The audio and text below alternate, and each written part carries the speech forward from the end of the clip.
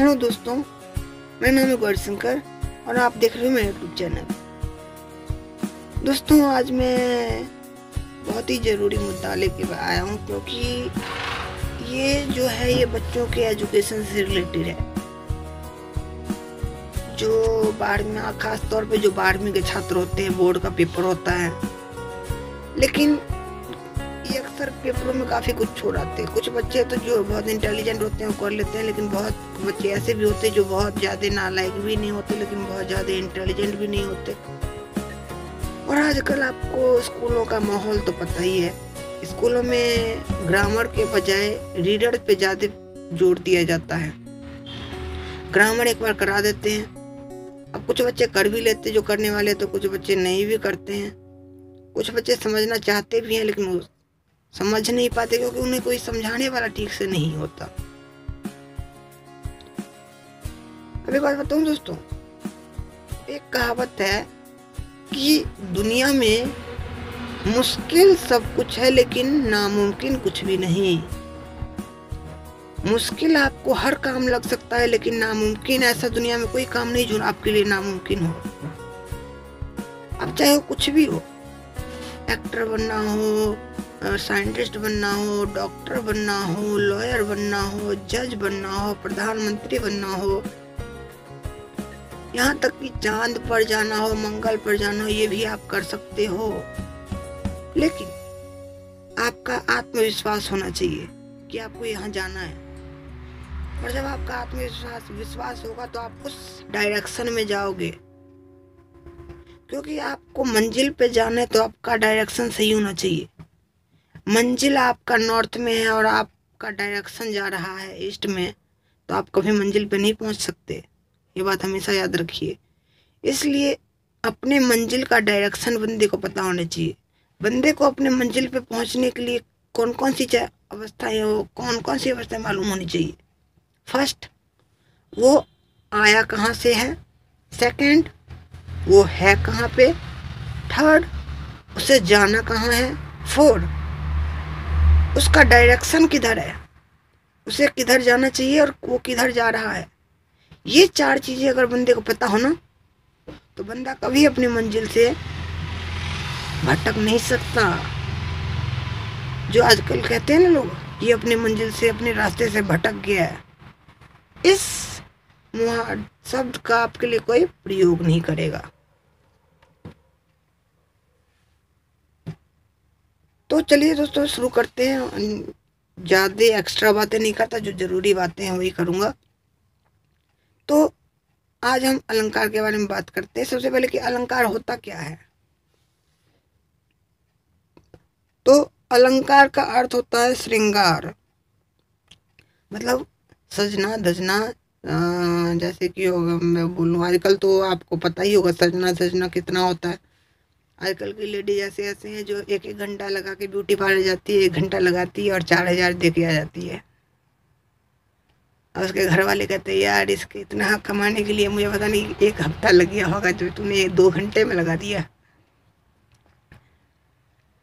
लेकिन कुछ ऐसे भी होते हैं जो कहते हैं, यार, कोई ना लगाओ लगाओ, कोई दिक्कत नहीं है। अब श्रृंगार का मतलब आपको पता ही होगा कि सजना धवजना अब इसके बहुत सारे अंग होते हैं। अब इसमें अब छोटे से, छोटे घर से लेके बड़े से बड़े घर तक सब अलंकार का प्रयोग करते हैं। अलंकार मतलब श्रृंगार श्रृंगार का प्रयोग सब करते हैं। अब चूड़ी इसके, चूड़ी कोई चूड़ी पहनता है, अब चूड़ी तो आप मैक्सिमम सभी लेडीज़ को देखते होंगे, चूड़ी पहनती है, अंगूठी पहनती है, उंगलियों में, गले में नेकलेस पहनती है, फिर कान में कुंडल पहनती है, सिर पे मंटिक्का पहनती है, वगैरह वगैरह, जो भी आप जानते हो? ये तो आप जानते ही हो। अब ये हो गया कि अलंकार का महत्व। अब ये है कि अलंकार का प्रयोग किया क्यों जाता है? ठीक है? हमने अलंकार के बारे में जाने। अब जाने के अलंकार किया क्यों जाता है? तो मैं इसके लिए बताऊँ कि अलंकार का प्रयोग किया जाता है आकर्षण को बढ़ाने के लिए। ठीक है? किसी के किसी को अपनी तरफ़ अट्रैक्ट करने के लिए किसी चीज़ के या फिर किसी कविता के प्रभाव को बढ़ाने के लिए उसको प्रभावशाली बनाने के लिए या फिर उसके किसी कामनी किसी स्त्री के मुख को या फिर बोलूँ कि शरीर को प्रभावशाली या फिर सुन, बहुत सुंदर बनाने के लिए बहुत आकर्षक बनाने के लिए जो है अलंकार का प्रयोग किया जाता है। अलंकार का मतलब है श्रृंगार अब इसका, इतना तो आपको समझ में आ गया होगा कि इसका प्रयोग क्यों किया जाता है। अब मान लीजिए, आप सड़क पे जा रहे हो, ठीक है? अब सामने से दो लड़की आ रही है। अब एक ने बहुत खूब श्रृंगार किया हुआ है, एक ने कुछ भी नहीं किया, एक बिल्कुल सिंपल आ रही है। तो आप दोनों में से किसके तरफ़ अट्रैक्ट होगे?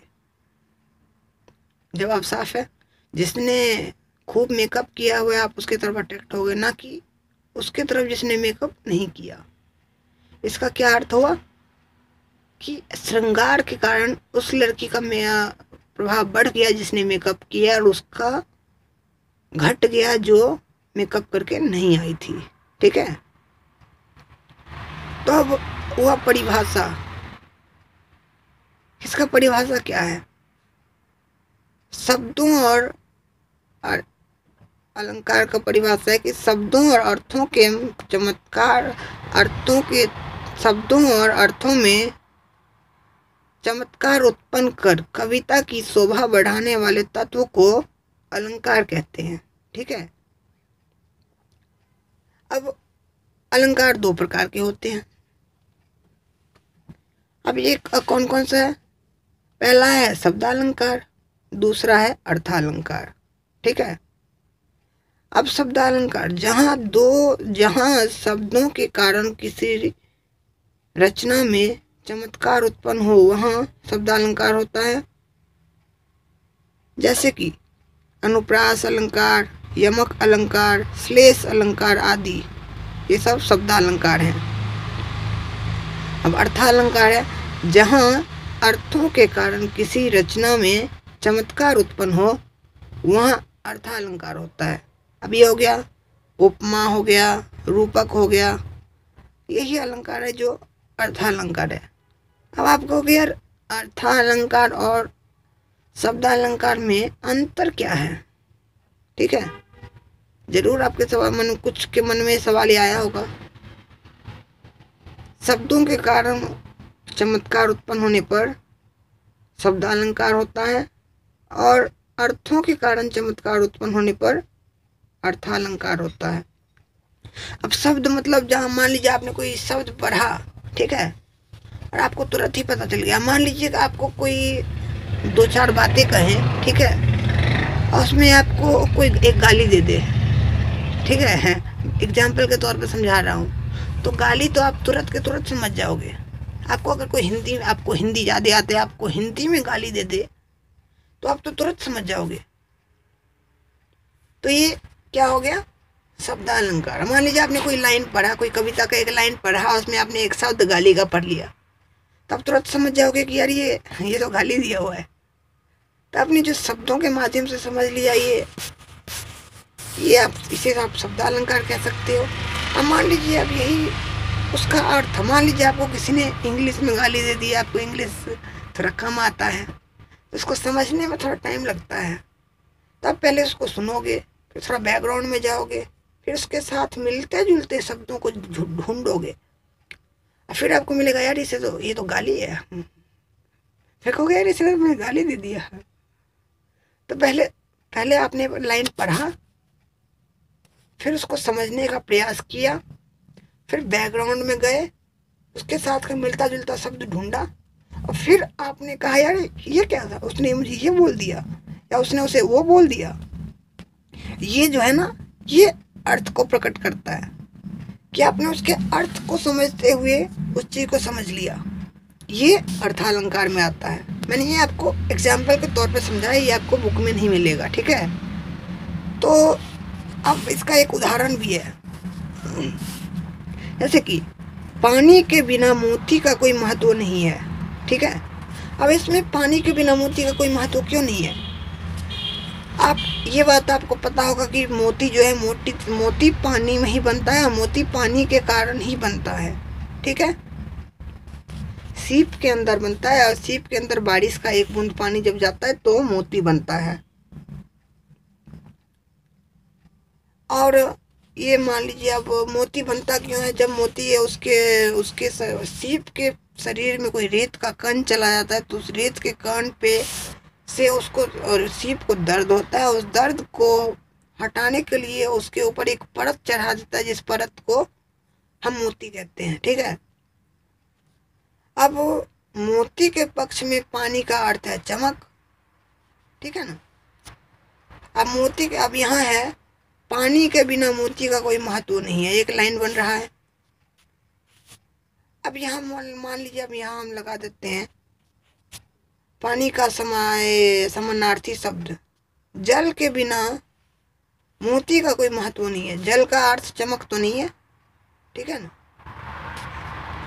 अब नींबू का अर्थ, नींबू का, नीर का, नीर के बिना मोती का कोई महत्व नहीं है। अभी भी कुछ बन नहीं रही बात।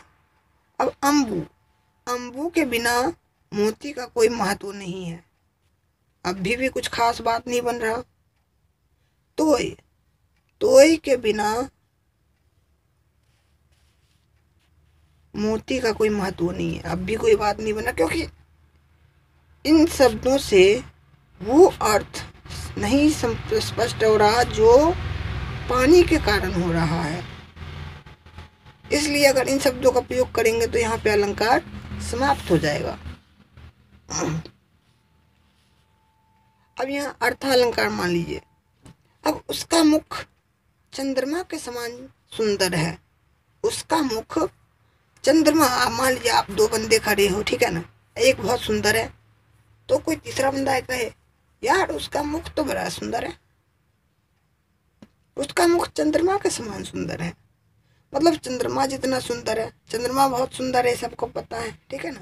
अब इसके लिए मान लीजिए लगा दें। राक, उसका मुख तो यार राकेश के राकेश जितना सुंदर है। यार उसका मुख तो इंदु जितना सुंदर है।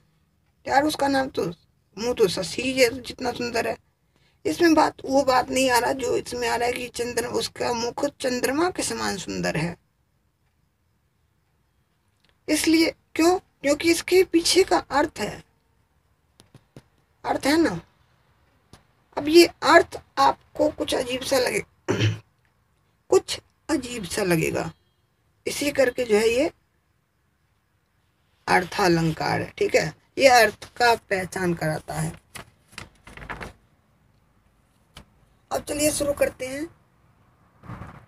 अलंकार का सबसे पहला शब्द अलंकार शब्द अलंकार का सबसे पहला अध्याय, अनुप्रास अलंकार। अब अनुप्रास अलंकार में आपको पूछा जाएगा अनुप्रास अलंकार की परिभाषा और उदाहरण लिखिए, ठीक है? अब इसमें आपको देने हैं, जहाँ व्यंजनों की बार बार आवृत्ति के कारण चमत्कार उत्पन्न होता है, वहाँ अलंकार, अनुप्रास अलंकार होता है। अब, आप में से कुछ को हो सकता है पता ना कि व्यंजन क्या होता है। तो व्यंजन के लिए मैं आपको बता दूँ, जहाँ जिन शब्दों को उच्चारण करते समय ध्वनि आपके दांतों से, होंठ से, तालू से टकराते हुए बाहर निकलती है, गला से टकराते हुए बाहर निकलती है, उसे हम व्यंजन कहते हैं, जैसे कि क, ख, ग च, छ, ज, झ, प प, व व, य, र, ल, व, ये जो है, ये व्यंजन है। अब इनके कुल संख्या जो है, थर्टी थ्री होता है, ठीक है? अब इसमें चलिए यहाँ आपको समझ में आ गया होगा, आप आगे चलते उदाहरण। अब उदाहरण क्या है? लक्षण तो हमने समझ लिया कि जहाँ व्यंजनों की बार बार आवृत्ति के कारण चमत्कार उत्पन्न हो, वहाँ अनुप्रास अलंकार होता है। अब उदाहरण है, चारू चंद की चंचल किरणें खेल रही है जलथल में। अब यहाँ चारू चंद की चंचल किरणें चौ का एक से अधिक बार प्रयोग हुआ है, इसलिए ये अनुप्रास अलंकार है। जहाँ एक व्यंजन, व्यं, जहाँ भी व्यंजन का एक से अधिक बार प्रयोग हो, वो अनुप्रास अलंकार होता है। ये चीज़ आप याद रख लो, ठीक है? अब यहाँ मान लीजिए, अब यहाँ यहाँ च की आवृत्ति के कारण चमत्कार उत्पन्न हो रहा है। चारू चंद की चंचल, ठीक है ना? इसलिए, अतः ये अनुप्रास अलंकार है। इसका विशेष भी आप जान लीजिए, विशेष है। व्यंजनों की आवृत्ति के साथ स्वर स्वर कोई भी आ सकता है। व्यंजनों की आवृत्ति के साथ स्वर कोई भी आ सकता है। अब स्वर क्या है? जैसे कि ओ आ, ए ऐ ये जो है, ये दोनों स्वर है।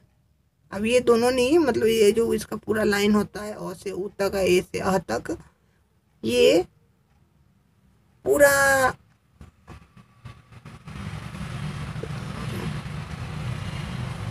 स्वर होता है। ये सारे जो है वो स्वर होते हैं।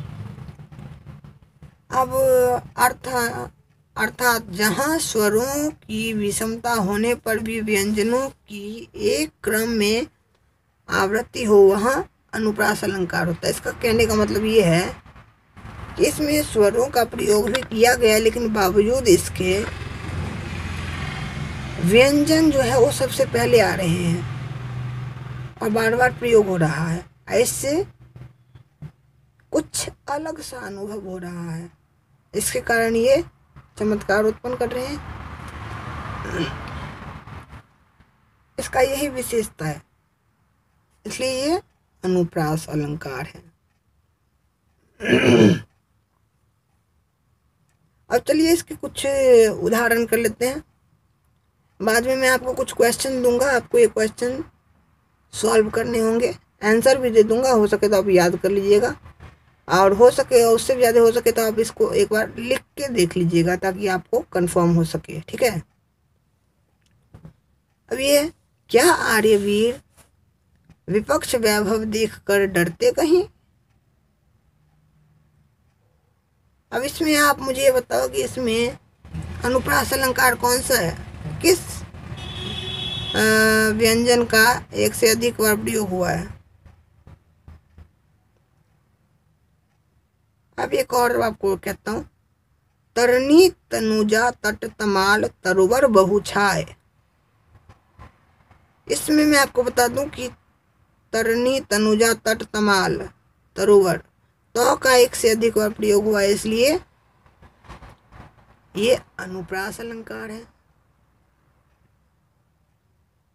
अब आपसे पूछता हूँ कि तजकर तरल तरंग को। ये उदाहरण है। आप बताओ कि इसमें कौन सा व्यंजन प्रयोग हुआ है? एक से अधिक का प्रयोग हुआ है? ये कौन सा अलंकार है? ठीक है? अब मैं एक और आपको बोलता हूँ। आप मुझे, मैं आपको इसका जवाब दूँगा। इसके बाद मैं आपको एक और बोलूँगा। उसका आपको मुझे कमेंट में जवाब देना होगा। ठीक है? चलिए शुरू करते हैं। अब इसमें है सत्य स्नेहशील सुख, सागर। इसमें कौन सा व्यंजन प्रयोग किया गया है? स सत्य स्नेहशील सुख, सागर। इसमें सौ का एक से अधिक बार प्रयोग हुआ है। इसलिए ये भी जो है, ये अनुप्रास अलंकार है। अब मैं आपको जो ये उदाहरण दे रहा हूँ ना, ये उदाहरण आपको याद करना पड़ेगा, क्योंकि ये आपको लिखने पड़ेंगे। आपको जो है ना, पेपरों में जो आएगा, पेपरों में आपको बस ये लिखा हुआ आएगा। कि अनुप्रास अलंकार की परिभाषा और उदाहरण दीजिए। और आपको लिखा हुआ होगा ये ऊपर जो आपको दिख रहा है ये अनुप्रास अलंकार बस अनुप्रास अलंकार और यमक अलंकार आपको ऑप्शन में होगा। आपको इन दोनों से कोई एक करना पड़ेगा। ठीक है? सो so, आप इसको याद कर लीजिएगा। जो जो मैंने आपको उदाहरण दिया है और साथ में आपको ये लक्षण भी पता होना चाहिए। लक्षण तो आपको एक बार याद करना है लेकिन उदाहरण आपको ज़रूरी नहीं है सारे उदाहरण याद करना है। आप इनमें से जो भी आपको सबसे आसान लगता है ना, आप वो उदाहरण याद कर ले। जैसे कि मुझे चारू चंद की चंचल किरणें खेल रही है जलथल में बहुत भाग गया था, इसलिए मैं यही लिखता होता हूँ। और आप ख़ास तौर पे ध्यान रखिएगा कि इसमें जो मात्राओं का प्रयोग किया गया है, चा, चू की, ये ये जो है, ये मात्राओं का ध्यान आप खास तौर पे रखिएगा, क्योंकि इसमें गलतियाँ बहुत करते हैं। गलतियों के नंबर बड़े करते हैं। तो ये गलती ना हो क्योंकि आप अच्छे से करना है, इसलिए आप इसको एक बार लिख कर देख लीजिएगा। तो चलिए मैं आपको एक लास्ट सवाल देता हूँ। इस सवाल को आप मुझे कमेंट में जवाब दीजिएगा। कल कल कोमल कुसुम कुंज पर मधु बरसाने वाला कौन? कल कल कोमल कुसुम कुंज पर मधु बरसाने वाला कौन? अब इसमें कौन सा व्यंजन का प्रयोग हुआ है? कितनी बार हुआ है? और ये कौन सा अलंकार है? ये आप मुझे कमेंट में जवाब दे सकते हो। ठीक है? और कुछ एनिमेशन में आपको मैं कुछ सवाल पूछूँगा, उसके जवाब भी आप मुझे दे दीजिएगा। आपको ये वीडियो कैसा लगा? आप मुझे ज़रूर बताइएगा। अगर आपको वीडियो पसंद आया तो ज़रूर लाइक कर दीजिएगा। पसंद नहीं आया तो कोई बात नहीं, लाइक कर दीजिएगा, क्योंकि ये आपकी चॉइस है। अच्छा लगना, ना लगना। लेकिन क्या अच्छा नहीं लगा ये मुझे, आप कमेंट ज़रूर कर दीजिएगा, क्योंकि एक बार बताऊँ, गलती करके हम किसी न किसी को कहते ज़रूर हैं, लेकिन जिसने गलती किया, आप जब तक उसको नहीं कहोगे ना, तब तक आपको उसमें गलती निकालने का भी कोई फ़ायदा नहीं होगा, क्योंकि जिसको आप कहोगे उसको सुधार नहीं करना, सुधार उसको करना है जिसने गलती किया है, ठीक है ना? तो जिसने जो गलती किया, आपको उसे वो गलती बता देना चाहिए। फिर भी ये आपकी चॉइस है, आप बताओ, ना बताओ। So thanks for watching my video